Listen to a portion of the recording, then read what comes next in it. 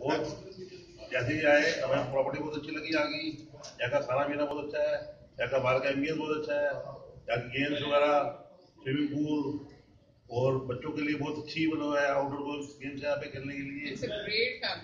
Great family place and we enjoy यहाँ